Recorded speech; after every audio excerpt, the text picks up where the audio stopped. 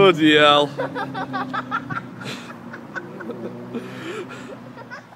Hello there folks of the tubes. It's the ever so primitive donkey here, coming at you with another poem. And this one is the second of the primitive trilogy. And this one is called Primitive Times, Primitive Highs. And this is how it goes.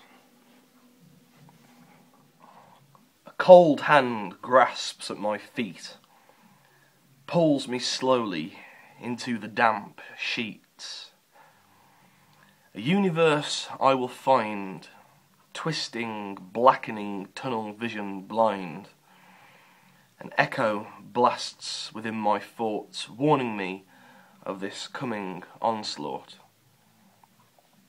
The cold hand that pulled, the damp hand that grabbed, its fingers and nails softly clad with the velvet of a deity long forgot, fed from the bubbling flesh pot, my grey and weary mascot. They will chase me down the hole, these questioning thoughts of mine, into the recesses of my soul. These times and highs are divine.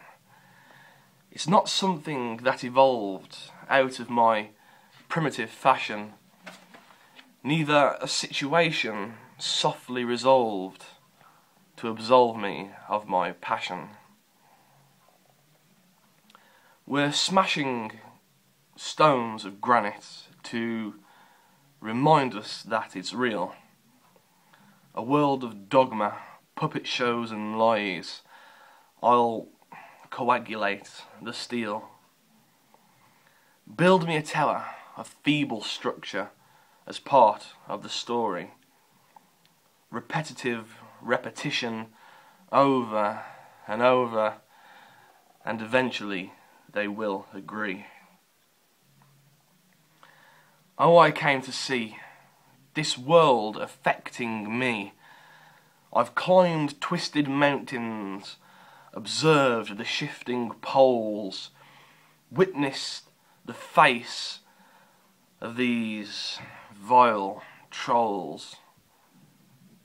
They are eating.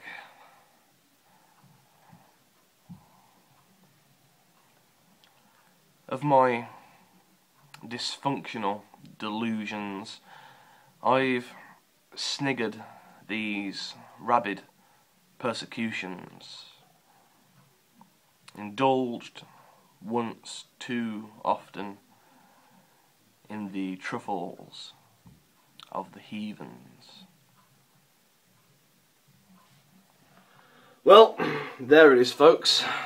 I would like to read your comments on what you thought about it. So if you'd like to drop a comment in the old comment box down below, give me one of those thumbs up or thumbs down ratings depending on what you thought of the poem.